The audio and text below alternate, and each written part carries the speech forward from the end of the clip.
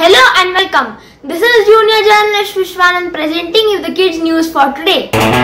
Shanghai cancels flights as typhoon Infa lashes eastern China. Over 22,000 Afghan families flee from Kandahar to escape danger from the Taliban. Thousands protest lockdown in Sydney. Several people arrested. 6.7 magnitude earthquake hits Philippines, says US Geological Survey. Russia has unveiled a new fighter aircraft named Checkmate. Over 100 meter tall sandstorm engulfs China's Dunhuang.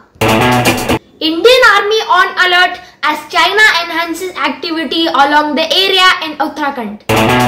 To mark the completion of one year of reforms, Prime Minister Narendra Modi addressed policymakers in the domain of education. BJP's Babul Supriyo exits from politics, says he will resign as MP also. Over 41 crore doses of COVID vaccine administered in India and COVID recovery rate stands at about 97.32%, says Union Health Ministry report. 800 year old Ramappa temple gets World Heritage Site tag by UNESCO. Maharashtra becomes first state to vaccinate 1 crore people. Over 2 lakh people evacuated from flood prone areas in Maharashtra.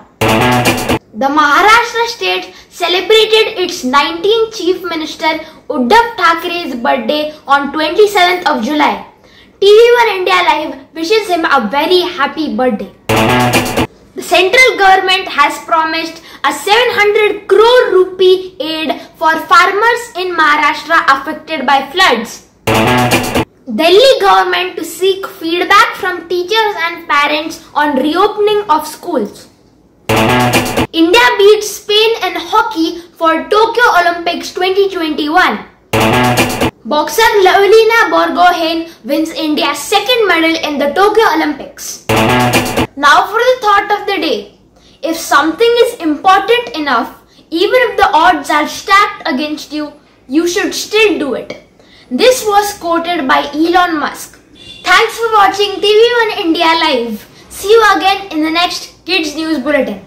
Latest updates और ताजा तरीन खबरों के लिए TV one India live को subscribe कीजिए और notification पाने के लिए बेल आइकॉन को दबाना मत।